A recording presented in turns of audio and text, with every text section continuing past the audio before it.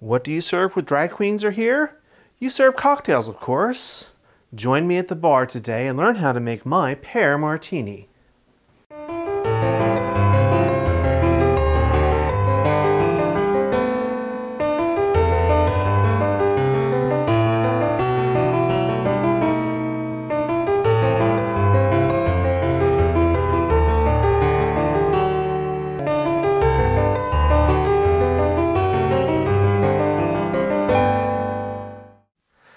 Hi everyone, welcome to another Fast Five episode of Let's Celebrate TV.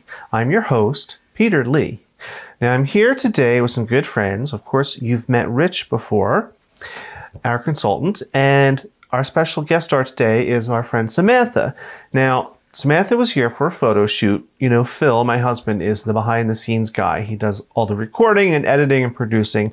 So he did some pictures of Samantha today.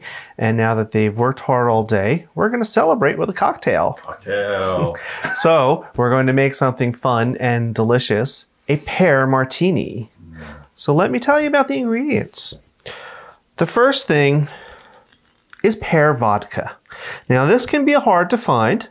Absolut, thank you. Shout out to them. They always have it. Uh, there are some other makers. If you can't find it anywhere, you can use a good regular vodka. It's just that the pear flavored in the vodka kind of just rounds that out and adds to the martini. Next is pear nectar. I'm going to be using today a pear nectar that is 100% juice.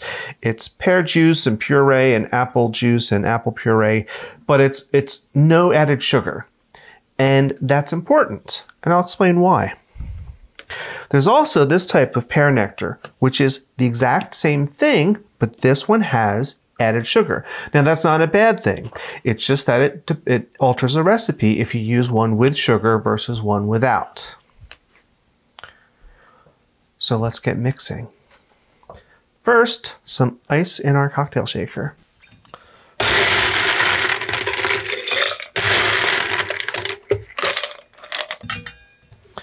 Now, we've made cocktails before, and I always tell you what is it about? It's the ratios. This is an easy one because the ratio is essentially one, one to one to one.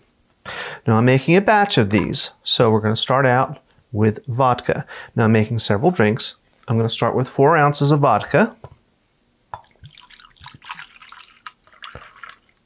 Right there, and right in the shaker.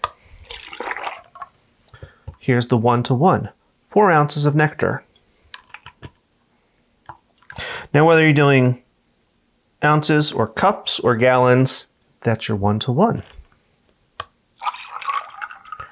Next ingredient, I'm going to use a tablespoon of simple syrup. And the reason I'm using this is the simple syrup is going to help everything bind together. Otherwise, you just have alcohol and juice, and after you shake it, it'll just separate right away. So a little bit of simple syrup will help it all stay together. You would not use this if you're using a nectar that has added sugar. So read your labels.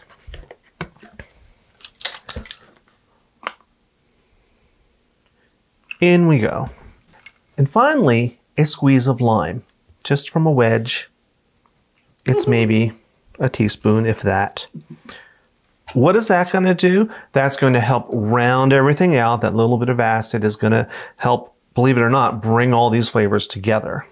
So let's put our cap on. Shaky, shaky.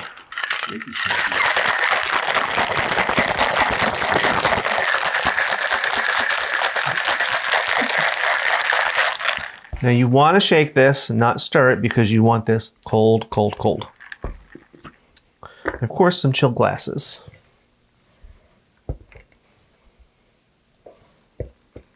Here we go. That looks good. Mm -hmm.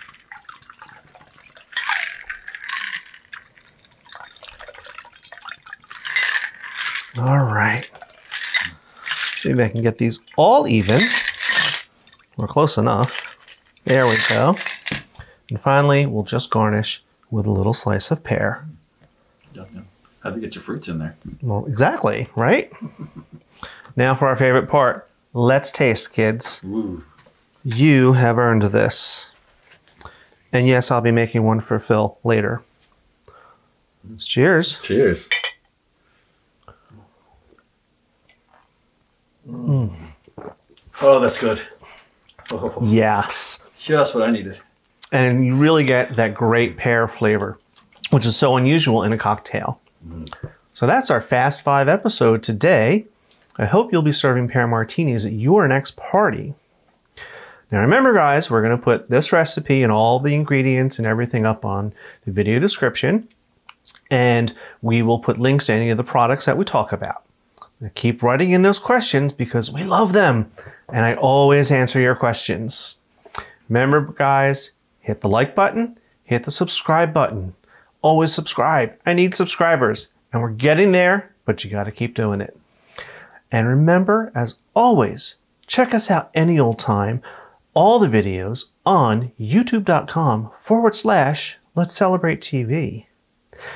Thank you for joining us. It's all the time we have. I'm your host, Peter Lee. Cheers. Cheers.